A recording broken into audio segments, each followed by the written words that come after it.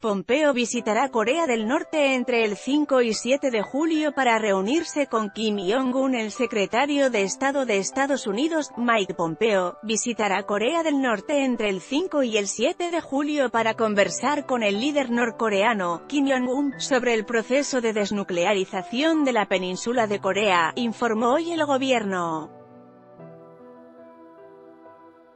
En su rueda de prensa diaria, la portavoz de la Casa Blanca, Sarah Huckabee Sanders, anunció que el jefe de la diplomacia estadounidense iniciará el 5 de julio un viaje a Pyongyang para continuar los esfuerzos en marcha para la desnuclearización de la península de Corea.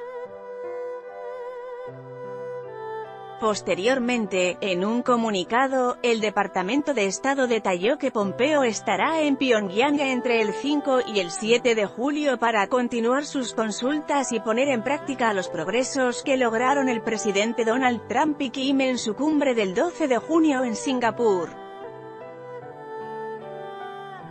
La declaración firmada en Singapur abre las puertas a la desnuclearización del régimen norcoreano a cambio de que Washington conceda garantías para su supervivencia, pero no especifica mecanismos ni plazos concretos para lograr esos objetivos.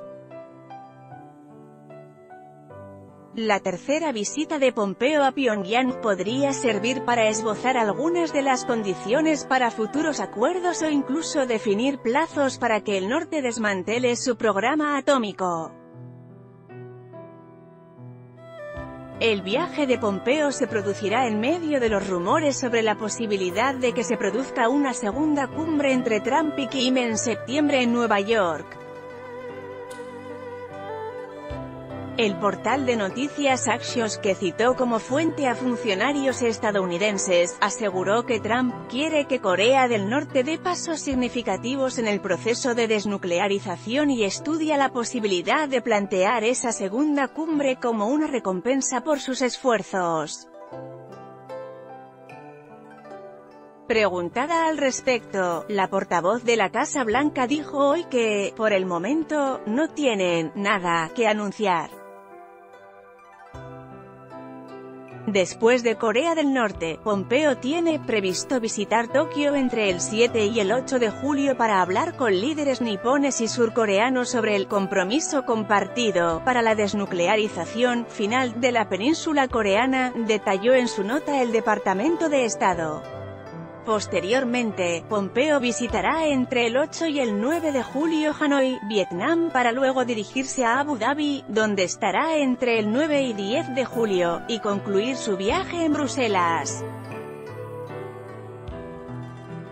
En Bruselas, acompañará al presidente Trump en la próxima cumbre de líderes de los países miembros de la OTAN, que se celebrará el 11 y 12 de julio, F. Street EU Corea del Norte Relaciones diplomáticas políticas